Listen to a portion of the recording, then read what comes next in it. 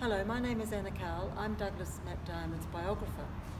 This painting, this lovely little painting um, above here, is a painting called Woman and Child in a Room at Night. It was painted in London in 1946.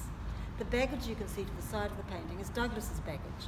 It was his first trip to, to overseas, and this woman had made room for he and his travel companions in the house, having met him in New Zealand.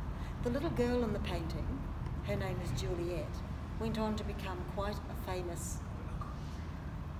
psychoanalyst in England, and she has a, an association with another painting in this exhibition, Otti Binswanger.